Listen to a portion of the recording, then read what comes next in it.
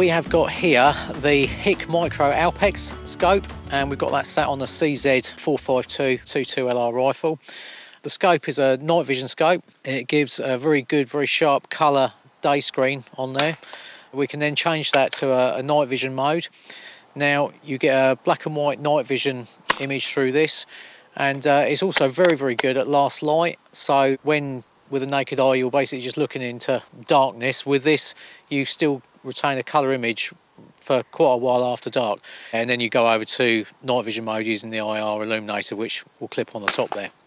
This one you'll see I've made a slight modification there. I've just put a fishing coaster on the front there bit basic but the idea being that with that it makes it a lot easier when you're behind the the rifle to be able to just reach forward and just with your fingertips just adjust that for fine focus. So the scope itself is a 30mm body tube on there so you can use standard day optic mounts with that. Here we're using some Sportsmatch mounts on there. It's got a rechargeable battery built into this. You've also got the option to run it on a uh, CR123A battery in the top there. It's got a zoom on the side, nice smooth zoom and it will also record directly to an inbuilt memory.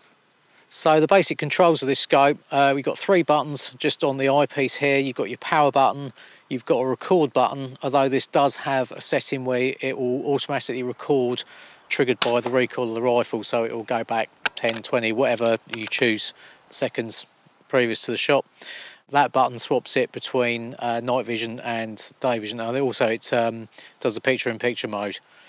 The main menu functions are accessed via the turret on the side here. You just push and hold that to enter the main menu. You've got uh, four times zoom on here and you've also got the option to have picture in picture mode so you get the superimposed little screen at the top of the, the main screen which allows you to aim a little bit more precisely or you can just use the wheel on the side there which gives you very smooth zoom from one times to four times magnification. I will generally use the picture-in-picture mode to aim with, um, particularly on a longish sort of shot, but it does give you the ability to see everything around you as well. So potentially if there's something else coming into the line of fire, you see it a lot better than what you would just in the picture-in-picture mode. So it basically does uh, everything a standard night vision scope would do and, and more, and with a nice clear image too.